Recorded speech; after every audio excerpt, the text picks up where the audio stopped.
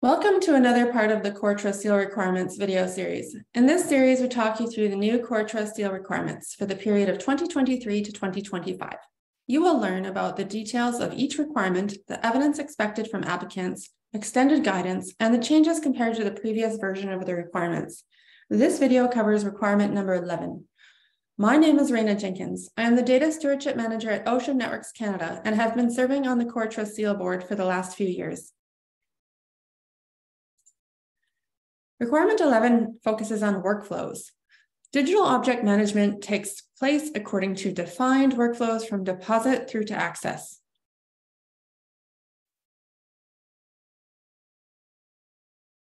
Workflows allow for quality assurance, which is requirement number 10, to be achieved because it is necessary to avoid ad hoc actions and to deliver consistency of practice for all digital objects and across repository functions. This requires that workflows are defined, documented, and change managed. Workflows may reflect a mixture of standard operating procedures, business process descriptions, and diagrams that guide normal practice and provide mechanisms for handling any exceptions.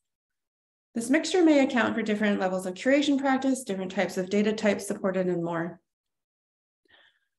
The requirement confirms that all workflows are ultimately documented it should be noted if there are different workflows for different levels of security mentioned in the legal and ethical response statements. Workflows may also include qualitative and quantitative checks of outputs, but any details on those checks and compliance should really be addressed under quality assurance.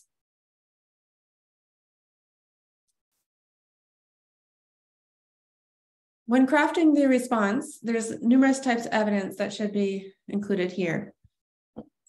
The workflows descriptions must describe how the different curation levels are handled, how the workflows may be adjusted for different types of data or metadata, what kind of decision handling happens within those workflows, and how are workflows changed or versioned over time?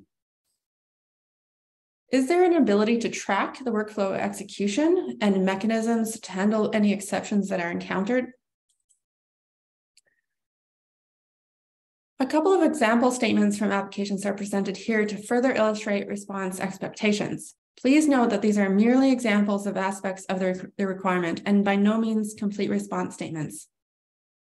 So in the first example, a recommended workflow is available on our website for depositors to follow, and it is their responsibility to ensure that these steps are taken. Well, here it is nice that there's some guidance provided, but there's no real responsibility taken by the repository to ensure that workflow is handled correctly and doesn't account for their own responsibilities in the overall data management life cycle. The next statements are a lot, a lot better. For example, the reference with the link here shows a detailed breakdown and diagram of the data ingest workflow, including various pathways for different data types. Or on an annual basis, workflows are reviewed and aligned, updated to align with any changes in best practices or expectations. Or a data curator supports the depositor through the data ingestion workflow, tracking completion of steps and any specific comments along the way.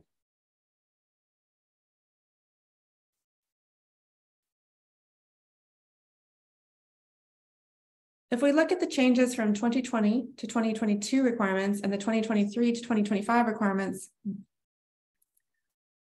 we can see that ultimately the expectations are very similar. However, the, the language of the requirement has been updated to reflect that the most commonly used within the applicant community the ability to track workflow execution with mechanisms to handle exceptions was added for improved traceability and provenance.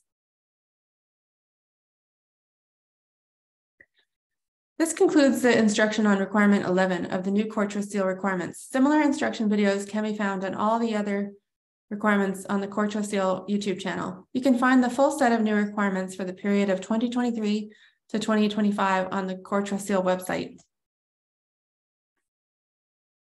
Thank you.